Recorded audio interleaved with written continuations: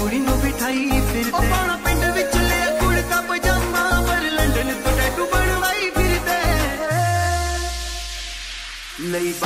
number ਵੀ ਬਾਈ ਫਿਰਦੇ ਵੇਖੋ ਹਾਲ ਕੁੜੀ ਨੂੰ ਬਿਠਾਈ ਫਿਰਦੇ ਵੱਖਰੀ ਚਿਤੌਰ ਬਣਾਈ ਫਿਰਦੇ ਵੇਖੋ ਹਾਲ ਤੇ ਕੁੜੀ ਨੂੰ ਬਿਠਾਈ ਫਿਰਦੇ